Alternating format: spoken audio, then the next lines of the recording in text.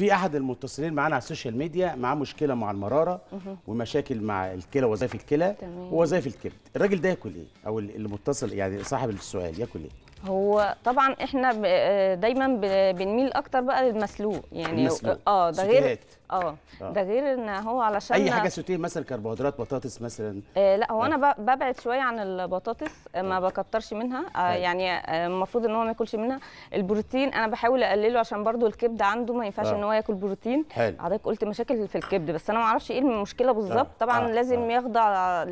ل... يعني تحاليل كتير عشان أعرف المشكلة حلو ولكن أنا احاول ان أنا اخليه مسلوق أكتر اقلل البروتين اديله نسب جرعات قليلة جدا علشان الكبد عنده التعبان. حلو. آه، نفس الكلام اقلل الاملاح أصلا في الاكل بتاعه عشان مش هينفع عشان الك- الكلى حضرتك قلت برضو عنده مشاكل في الكلى. آه.